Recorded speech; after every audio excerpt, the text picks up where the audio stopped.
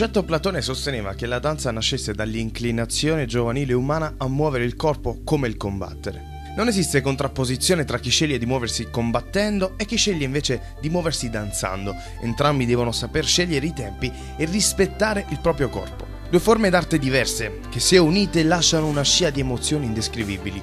Carmine ed Anna Donadio, lui karateka della Cesam, lei ballerina da sempre.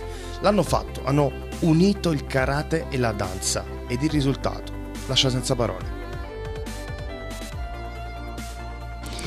Ma sicuramente sì, perché è già una cosa che al di fuori dell'Italia va molto. Infatti ho preso spunto da, per, per, questo tipo di, di, esibizione in Romania al Mondiale dove appunto veniva vista come una, un momento a parte del, appunto di questa competizione e che attirava parecchia gente quindi ci ho provato e ho detto ok vediamo come va e proviamo a trasmetterla anche qua in Italia questa sorta di mostra d'arte interattiva inscenata dai due fratelli per la prima volta al Memorial d'Amelio ha fatto innamorare tutti e proprio per questo è stato chiesto ai due atleti di avviare un vero e proprio tour per l'Irpina.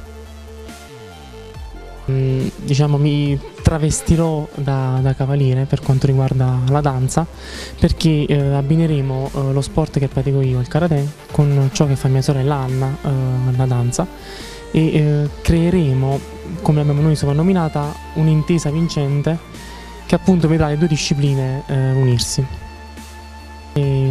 Ci chiameranno in tanti a fare questa esibizione, noi comunque eh, ogni volta che, che faremo allenamento lo proveremo sempre così da perfezionarlo al meglio.